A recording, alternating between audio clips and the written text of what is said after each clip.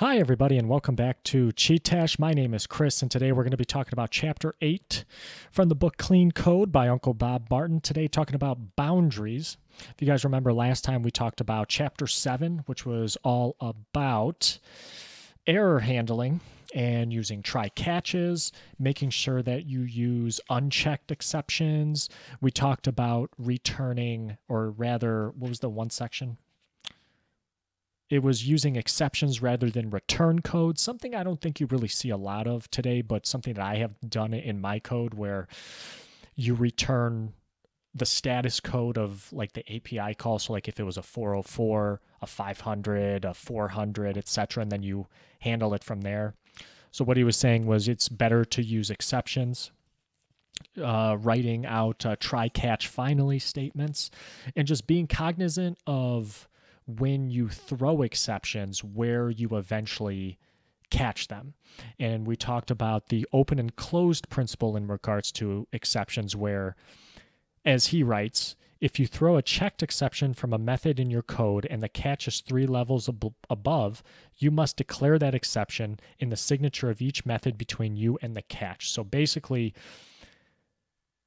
remember what the open and closed principle meant. Things should be open for extension, closed for modification. So if you use checked exceptions, be cognizant of if things change, all the subsequent methods between that and the catch are going to have to change as well, is basically what he's saying. Because when you check an exception, you declare it within the method signature. So that was last time. That was just kind of a small little little uh, highlight of last time. Go check out that episode. Today, we're going to be talking about boundaries, and we're going to go to the first slide here. This will be kind of a shorter chapter. So, boundaries. Uncle Bob starts off the chapter by talking about using third party code. So, what is third party code? This is essentially like the libraries that other developers write and maintain so that then you can import that third party code into your classes if I'm looking at this from a Java perspective and then you can utilize it for your own use. So stuff from like the Java util package. This is stuff that's very common maps, lists. You know, these are classes that classes and interfaces or code that other people maintain and that you can utilize for your own benefit in your code. So, Uncle Bob says that there's a natural tension between the provider of an interface and the user of the interface. So, a tension between the person who writes the map interface and the person who uses it. Providers strive for broad applicability, and users want something tailored specifically to their needs. So, what do you do? Well, the client's job is to utilize the third party package in a specific way for their code. So in this example, we're talking about maps. Maps, you got like key value pairs, right? Hash maps. Um, what else is that? Hash maps is the only one I use, but there's tree map, I believe, too, just regular maps, etc. So what if a third large, third party library changes, and this is where the tension you begin to see the tension because it's one thing to just use the third party library willy nilly, which you can totally do. But now, what if that third party library changes? Because again, other people are maintaining it and developing it. And maybe down the line, they could make a major change. And depending on how you implemented that third party library, your whole entire code base could now change. So Uncle Bob advocates for creating your own class and implementing the third party library within that class in your own customized fashion. In kind of the same way as we talked about in the data structures and objects chapter, which was a few episodes ago, and definitely go check out that episode if you haven't. This is going to be kind of thought about in the same way where you don't want to expose the innards of your objects, but you do want to display the data that is pertinent for your users. But you don't want to really explain or give away too much private information about the innards of an object. And that's going to be kind of the same thing in this situation. So what Uncle Bob says is you don't want to pass interfaces slash third party libraries at a boundary. What does he mean by that? Well, you want to keep those inside of a class or close family of classes. You want to avoid those third party libraries being used by public APIs. And you want to avoid exposing implement, implementation specific interfaces. Instead, what he advocates for is you can use third party libraries, but use them at your own implementation and use it without interfering with any sort of business logic. So there's an example here that I had of from left to right, top to bottom. This is, yeah, just from left to right, we're reading this, or from starting with the left screenshot down and then the right screenshot down. Sorry, not exactly left to right, but on the top, you have this key value store, custom interface, which is representing a key value data structure. This is going to be implemented by your hash map store. Okay, so far so good. The hash map store is going to contain the map. This is the Java util map. So within your code, you're going to be referencing this hash map store and not the map itself. Because look in, in this hash map store, it contains an instance variable of a map, right?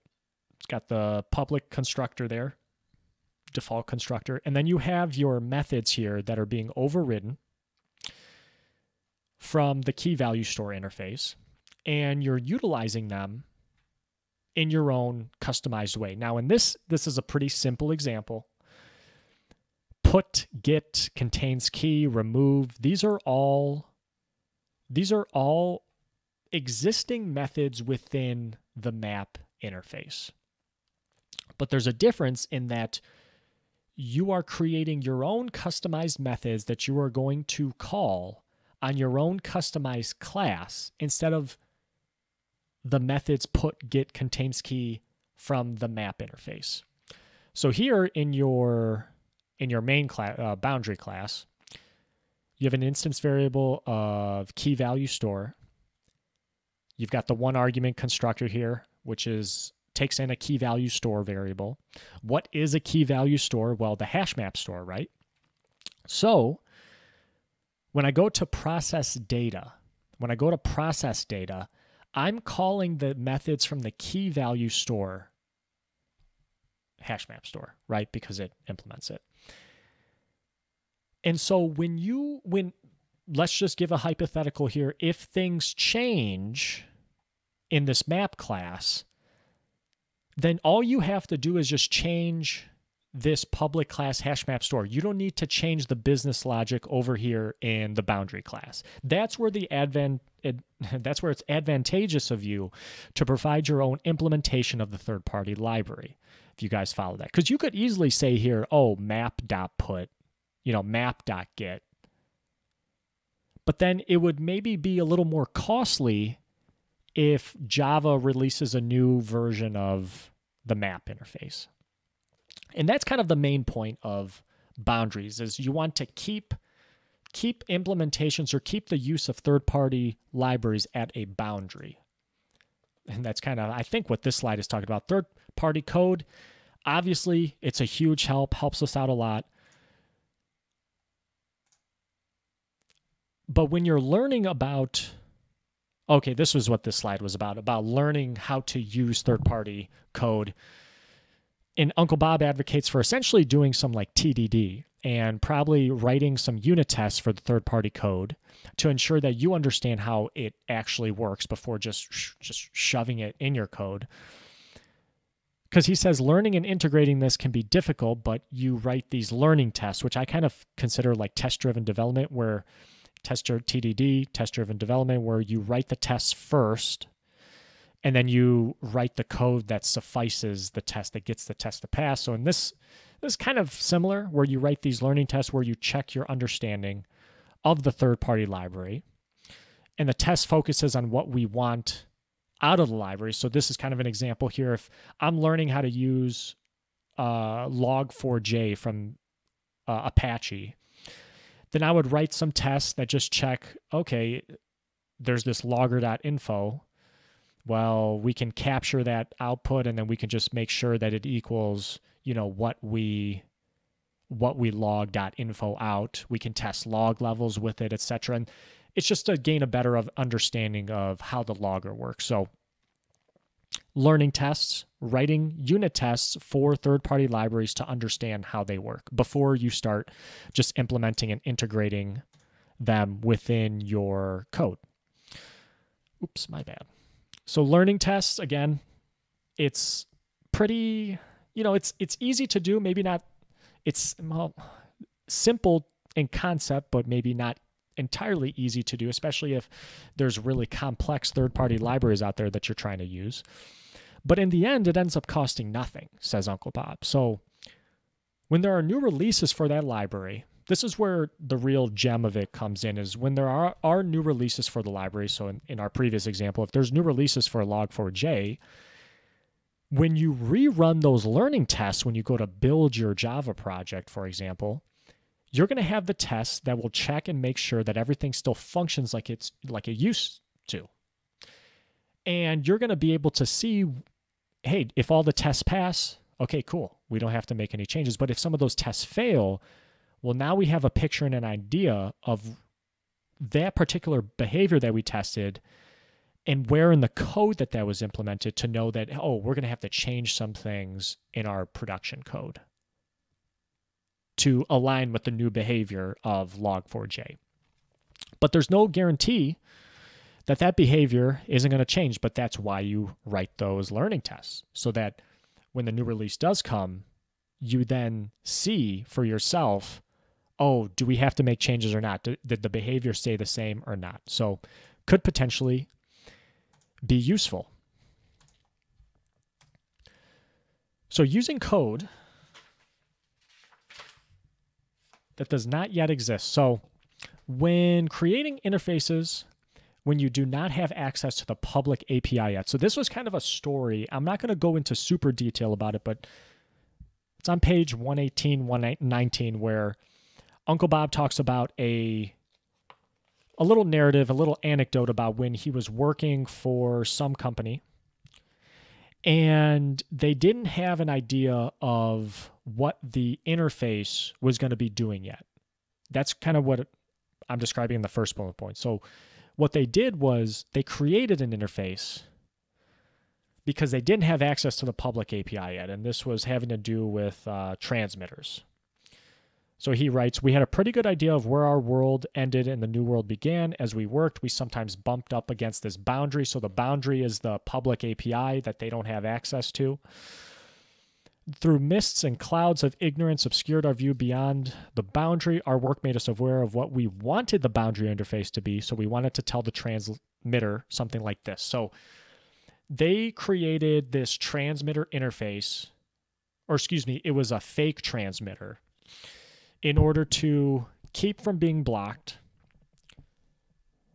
and in order to define the behavior what they were expecting in order to just continue along the development of their project. So if you don't have access to public apis use inferences on what you think the behavior is going to be to keep you from being blocked. Write your own implementation of the api and that way it's now under your control. You write your learning tests, right? And then once the public API becomes available, you can then run the learning test, double check which ones pass, which ones fail, and then adjust your code accordingly. But this way, this keeps you from being blocked. Creating fake interfaces based on your best inference of what the behavior should be. And then once you become unblocked by the availability of that public API, well, now you just plug and play, run your learning tests, see which ones pass, which ones fail, adjust your code accordingly. So there was kind of a small uh, anecdote in the book about that.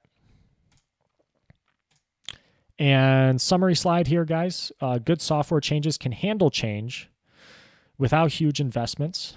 And if you do end up using public APIs, just ensure that any potential changes in the future won't impact you. And this is where the learning tests come in, making sure that you truly understand the behavior and then you're able to preview the behavior before implementing the third party API or the public API. And a little quote from the end of the uh, chapter it is better to depend on something you can control than on something you don't control. And I think that pretty much sums up this chapter um, very nicely. You want to just make sure that you understand the third party third party API, the third party library that you're using. You hide its implementation so you can better control what the user can or can't see. That way, when it comes time to change it, possibly, it's a much cleaner transition to the new behavior. And guys, that's going to do it. Uh, thank you guys very much for listening. I know this was a short chapter. Um, next time, we're going to talk about unit tests. Appreciate you guys listening. We got the full interview coming out tomorrow with Aaron Sylvanis. He's an entertainment lawyer. That was a very fun interview. Learned a lot about uh, record labels, the music industry. We talked a lot about a lot of different artists. We mentioned Taylor Swift a little bit because there was that uh, Ticketmaster Live Nation lawsuit over uh, a few months few months ago. So, yeah, no, guys, thank you very much. Hope you're liking the book, and we'll see you all next time. New interviews coming soon. Thank you guys so much. My name is Chris. This has been Cheat Take care.